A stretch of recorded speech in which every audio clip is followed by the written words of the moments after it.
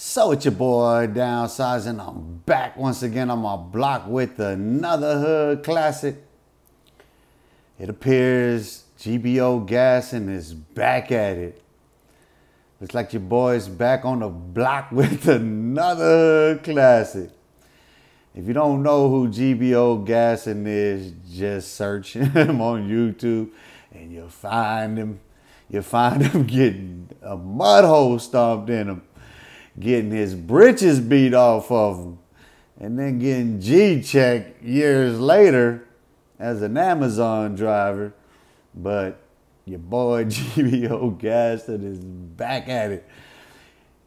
Now, this kid, this kid plays with death in the worst of ways. He's a different kind of troll. He goes to those neighborhoods exposing himself and what he's there with and says what he says. Unlike people like 600 and Wack 100 and others who, who like to troll the way they do in hiding, running, backpedaling, just igniting fires everywhere. No, GBO Gaston shows up with the blower, disrespecting neighborhoods, fool.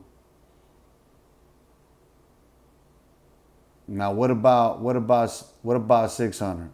What about Wack 100? In stark contrast to to some JCat like GBO Gaston, who's ready to die about that shit. He knows after having gone through what he did with with with the homies from Hoover, how they beat him out of his britches, literally beat him out of his britches. He is he is very mindful of that. Trust and believe he ain't going to ever forget that. And he's back out there. He's back out there crashing out.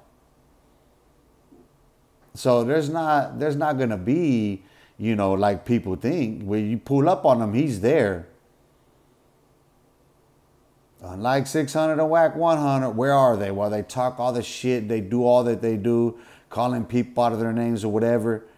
GBO Gaston call people out of their names standing in their hood with his camera out. He's crashing out like that. If you come through, it's a, he, what choice does he have?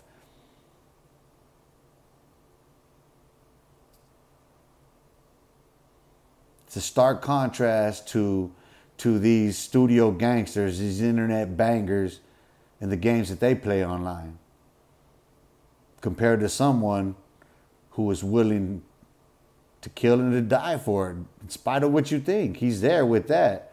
Yeah, that happened the last time. What's the guarantee that's going to happen this time or the next time should it happen?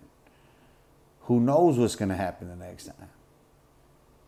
But one thing is for certain GBO Gaston is back out there trolling in the worst of ways. And he's making them all look whack. He's making them all look weak. GBO. Check it. You want to clown? You want to clown 600? Go pull up at that at his favorite spot go get you some chili cheese fries and tape that shit. Be careful though, homie. Be very careful going there. But yeah, you can do a lot of clicks off that one. You can climb major off that. And I'm going to leave you with that.